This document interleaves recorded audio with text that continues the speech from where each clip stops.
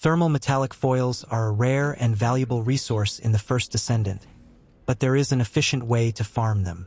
The key is to focus on obtaining encrypted vault codes, which can be acquired by defeating enemies in any mission or operation. Once you have the codes, you can head to the Echo Swamp region and locate the encrypted vaults, which are marked by holographic icons on the ground.